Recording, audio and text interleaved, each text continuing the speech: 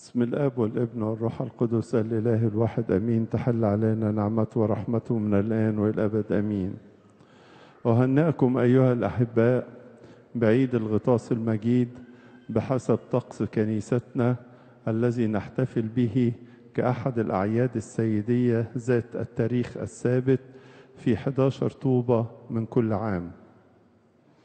يشترك معي في التهنئة الآباء الأساقفة الأحبار الأجلاء الحاضرين معنا نيافة الأنبا بافلي ونيافة أنبا هرمينا ونيافة أنبا ساويرس ويعتذر عن الحضور نيافة أنبا إلاريون بسبب بعض الظروف الصحية ربنا يديله الصحة.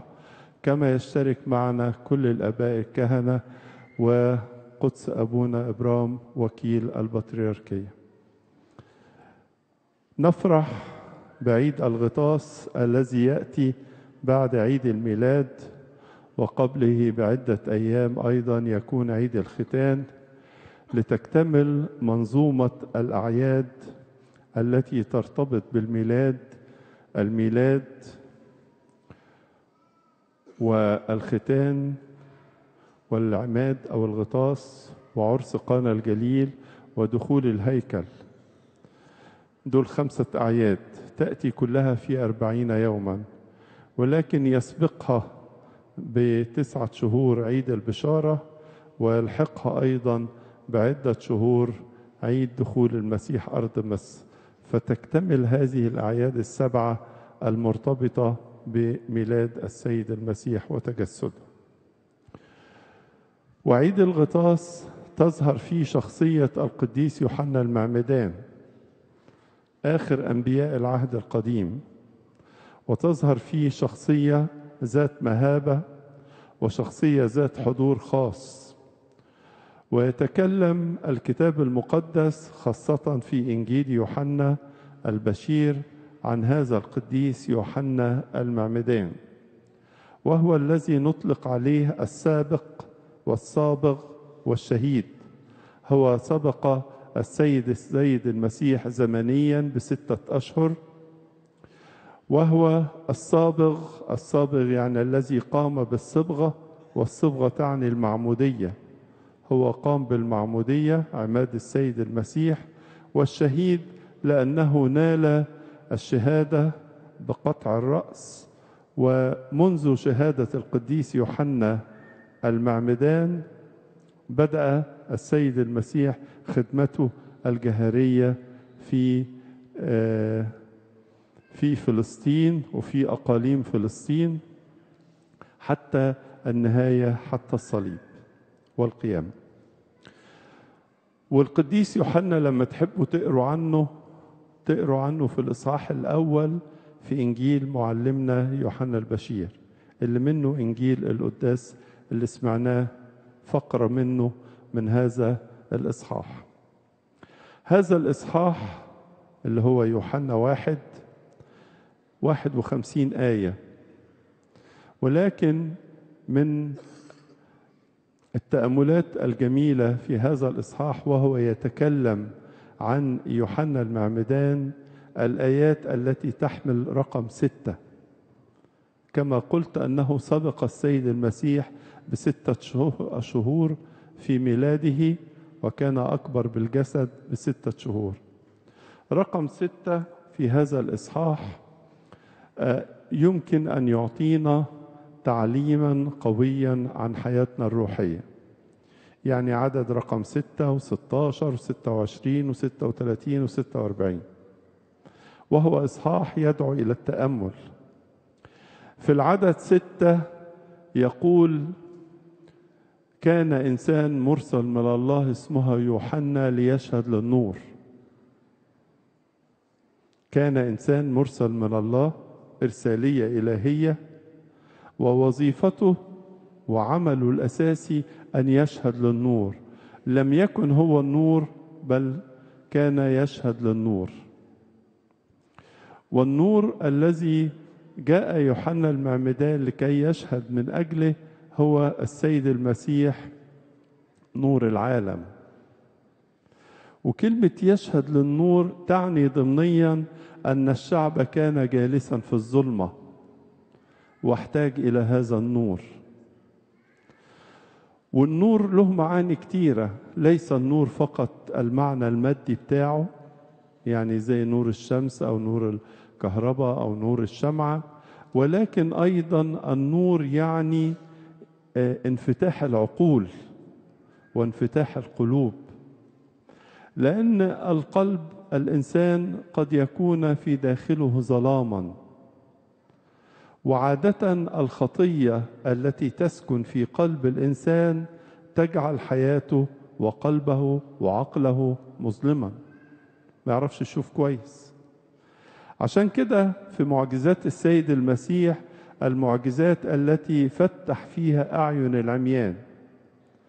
كان تفتيح الأعمى تفتيح عينيه عملا واضحا في الجسد لكن المقصود الأكثر أن الإنسان قد يكون له عيون ولكنها لا تبصر وقد يكون له قلوب ولكنها لا تشعر ولا ترى. جاء يوحنا المعمدان ليشهد للنور. إن مفيش مصدر للنور آخر ولا مكان ممكن تاخد منه النور علشان تعيش الاستنارة الداخلية ويملك قلبك النور الداخلي غير من خلال شخص المسيح.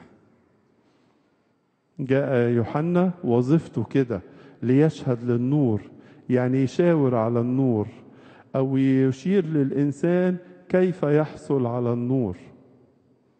هكذا كان يوحنا.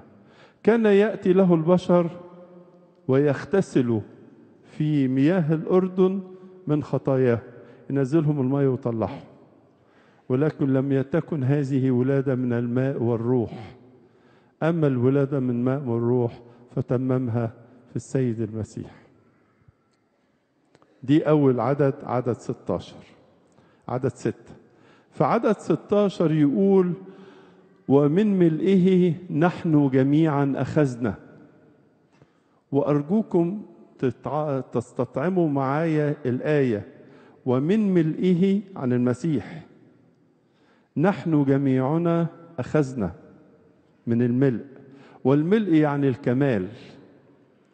كان السيد المسيح هو انتظار البشرية كلها انتظار للكمال. ويمكن أفكركم كده بسرعة المسيح على عود الصليب آخر كلمة نطق بها كلمة قد أكمل. فلن ترى سموا ولا كمالا بعيدا عن شخص السيد المسيح. فيه كانت الحياة والحياة كانت نور للناس والنور أضاء في الظلمة والظلمة لم تدركه. من نحن من ملئه ومن ملئه نحن جميعا أخذنا. ده بيفكرني بالجزء اللي بنصلي بيه في صلاة الساعة التاسعة. نشكرك لأنك ملأت الكل فرحا. أيها المخلص لما أتيت لتعين العالم يا رب المجد لك. نشكرك لأنك ملأت الكل فرحا. وأرجوكم يا إخوتي الأحباء تتوقفوا عند كلمة لأنك ملأت الكل فرحا. ربنا ما يحبناش نعيش نص نص ولا ربع ربع. دي ما تمشيش ويا المسيح. ولا يحب إن قلبنا يبقى نص وياه ونص في حتة تانية. لا هو ربنا يملأ الكل فرحا. يملأ الكل فرحا. ولا يوجد فرح آخر غير الفرح في شخص المسيح. طب ملتنا بإيه يا يسوع؟ قال ملتكم بالنعمة. كما في هذا اليوم نعمة سر المعمودية ونعمة سر الميرون ونعمة سر الإفخارستيا. هذه النعم التي ننالها جميعا يوم ما تعمدنا وإحنا أطفال صغار في يوم واحد نلنا هذه النعم الثلاث. ومن ملئه نحن جميعا من ملئه نحن جميعا أخذنا أخذنا نعمة. ده بيتكلم عن السيد المسيح وده يوحنا اللي بيشاور لنا. مفيش نعمة هتبنى قلبك ولا تحس بالشبع الداخلي غير من خلال شخص السيد المسيح. ده في عدد 16 في عدد 26 يقول تعبير جميل قوي في وسطكم قائم. إيه يا يوحنا عايز تقول لنا إيه؟ قال شخص المسيح حاضر وعامل وفعال في وسطكم. اوعى يجي لك كده فكر المسيح غايب أو المسيح مش واخد باله أو المسيح يعني مهتم بناس وناس لا لا في وسطكم قائم. في كل بيت يمكن أن نقول يعيش في الأمانة هذا البيت في وسط هذا البيت يقيم المسيح. في كل كنيسة في كل خدمة في كل مجتمع في وسطكم قائم موجود بيشتغل. يمكن ده بيفكرني بالآية الأخيرة في إنجيل معلمنا متى لما بيقول ها أنا معكم ها أنا معكم كل الأيام. يعني يا رب ويانا النهاردة الحد الاثنين الثلاث. ها أنا معكم كل الأيام. في وسطكم قائم. الرسالة اللي ممكن تطلع بيها النهاردة أن المسيح قائم في كل مكان. وكلمة قائم يعني عامل يعني شغال. مش حاضر وبس ده موجود وبيشتغل. وبيشتغل النهاردة وبكرة وفي كل ساعة وفي كل دقيقة وفي كل بيت. بس المهم التفت إليه أنت. المهم إنك تاخد بالك منه. المهم إنك تشعر بحضوره. أيوب الصديق في العهد القديم كان يعتبر نفسه أنه يعرف الله جيدا. ولكن عندما دخل إلى التجربة وخرج من التجربة بعد القصة الطويلة قال كده بسمع الأذن سمعت عنك والآن رأتك عيناي. يعني هو كان الأول كل علاقته بالله من خلال ودنه. وعلاقة الودن دي تبقى ضعيفة. أمال إيه الأقوى؟ علاقة القلب. والآن رأتك عيناي عيناي القلب. في وسطكم قائم. المسيح الذي يعمل أمس واليوم وإلى الأبد. قائم موجود بيشتغل. وده يدينا رجاء ويدينا قوة. في العدد الر... في العدد 36 اللي هي المحطة الرابعة يعني يقول كده هوذا حمل الله الذي يرفع خطية العالم. ويشاور على المسيح. هوذا حمل الله الذي يرفع خطية العالم. كانوا بيشاور على الصليب. حمل ذبيحة. وحمل الله من أجلي ومن أجلك. هو ذبيحة من أجل كل البشر. هذه الذبيحة قدمت في زمن الصليب وعلى الصليب وامتدت في الزمن وما زالت ممتدة إلى الأبد. وإحنا كل أسرارنا وكل صلواتنا قائمة على ذبيحة المسيح على الصليب من أجل خلاص كل البشر. حمل الله يعطينا رجاء أن الإنسان إن أخطأ أو سقط أو ضعف يلجأ إلى حمل الله ودم يسوع المسيح يرفع ويشيل ويغفر كل خطية. هوذا حمل الله مستعد أن يمسح خطاياك.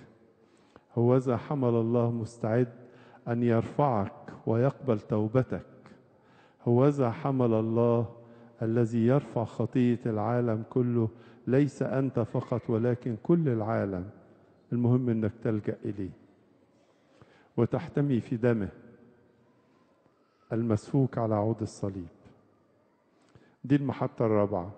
في المحطة الخامسة لما ابتدى يأتي تلاميذ للمسيح وده يدعي أخوه وده يدعي صاحبه علشان يبقوا تلاميذ للمسيح نقرأ في عدد 46 عبارة تعالى وانظر.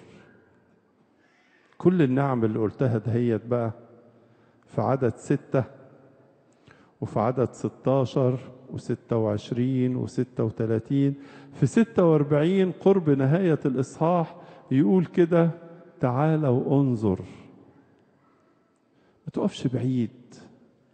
اوعى تكون كده واقف على هامش المسيحية وعلى على هامش الكنيسة ولا على هامش الصلاة ولا على هامش الإنجيل ولا على هامش الصوم.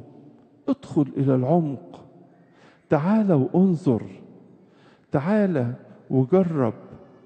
جرب حياتك في نور السيد المسيح. جرب حياتك ما تخليش الدنيا لهياك. إحنا بنصلي دايما في صلوات النوم ونقول العمر المنقضي. ها؟ في الملاهي يستوجب الدينون. الملاهي يعني الأمور اللي عمالة تسرق وقتنا وعمالة تسرق عمرنا والأمور اللي نهايتها في التراب. إيه رأيك؟ النهارده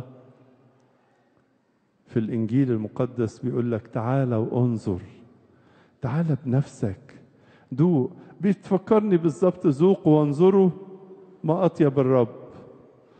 تعالى ودوق هو على رأي القديس باسيليوس لو أنا قعدت من هنا لبكرة أشرح لكم طعم العسل. أقعد أشرحه أشرحه مرة بالكيمياء ومرة بالفيزياء ومرة بالزراعة ومرة بالنحل أبسط من كده إيه؟ أقول لك تعالى ودوق وريح نفسي وأنت كمان ترتاح. وبعدين لما هتدوق العسل هتعرف قد إيه حلاوته قد إيه الطاقة اللي فيه. تعالى وانظر في إنجيلك في صلواتك في خدمتك في كنيستك في مجتمعك وسط أسرتك. تعالى وانظر عمل المسيح القوي في حياتنا جميعا. هذه المحطات يا إخوتي الأحباء تكشف لنا ماذا في هذا العيد عيد الغطاس. وطبعا إحنا بنسميه عيد الغطاس لأن المعمودية تتم بالتغطيس كده. وكان في عصور قديمة الشعب كله يجي في الوقت ده وينزل المية تذكارا ويبقى عامل كده البرتقان واليوسفندي عامله زي للإنارة يعني زي فوانيس كده صغيرة. ويبقوا فرحانين بهذا العيد. وطبعا بيجي في شهر طوبة. ما أعرفش إزاي كانوا بينزلوا المية. واخدين بالكم؟ المية طبعا متلجة. لكن يمكن ربنا كان بيدفها لهم مية النيل يعني. المهم كان تعبير عن أهمية هذا الغطاس. وعشان كده في هذا القداس يوجد اللقان. قداس المياه.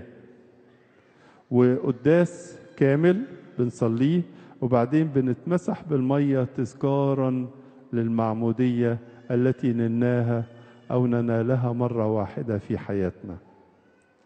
هذا هو يوم عيد الغطاس والذي نفرح فيه وبيمتد لثلاثة أيام. وفي عيد الغطاس دائما في اسكندرية هنا في نوة الغطاس ودايما تاكلوا تاكلوا قلقاس لازم مش كده؟ وطبعا لازم القلقاس ده. آه ده بره بيستوردوه عشان ي... عشان يبقى العيد رسمي. و... وتمصوا قصب مش كده برضو؟ بتجيبوا قصب ولا ما بتجيبوش؟ لازم. ولازم بقى تعرفوا ولادكم الصغيرين القلقاس والقصب دول إيه لازمتهم. إحنا شعب استطعنا استطاع الأقباط أن يخلق أن يخلطوا بين الإيمان والطعام. دخلوا الاثنين في بعض.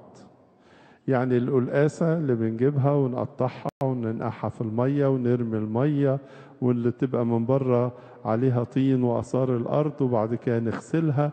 كل ده بيدي رموز للمعمودية.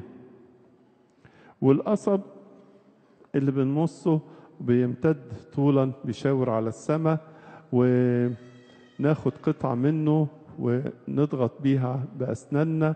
تقوم تنزل عصير حلو تماما زي الإنسان المسيحي عندما يتعرض إلى أي ضغط. ما يقولش لفظ وحش ولا يخرج من بقه العيبة لكن آه يجد العصير الحلو زي من القصب يخرج من فمه كلمات فيها بركة. هكذا يعلمنا الكتاب المقدس. هذا العيد عيد زي ما قلت في الأول ثابت في التاريخ وبنفرح فيه وبنجدد حياتنا وبنفتكر المعمودية بتاعتنا بتاعت كل واحد وبنستعد بعد كده بعد شوية تأتي صوم يونان ثم الصوم الكبير وتبقى الحياة الروحية وإحنا بنعيشها من خلال الكنيسة. ربنا يبارك حياتكم جميعا ويفرحكم بهذا العيد العظيم والعيد المجيد بكل المفاعيل الروحية اللي فيه ونعيشه على مستوى معنى العيد. عشان كده عايزك النهارده وبكرة لما ترجع بالسلامة افتح إنجيل يوحنا الإصحاح الأول وانتوا حافظين الجزء الأول اللي هو إنجيل باكر بتاع كل يوم. واقرأ بقية الإصحاح وقف عند الكلمات التي تفوه بها يوحنا المعمدان السابق والسابق والشهيد. ربنا يبارك حياتكم ويفرحكم دائما. لإلهنا كل مجد وكرامة من الآن وإلى الأبد. آمين.